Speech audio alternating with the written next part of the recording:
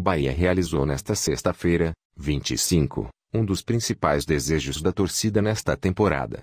O esquadrão contratou em definitivo o volante Gregori, um dos destaques da equipe de Guto Ferreira, e adquiriu metade de seus direitos econômicos.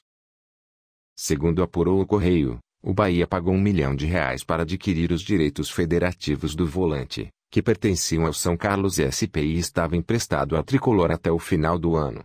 Com isso, assinou contrato com ele até o final de 2021.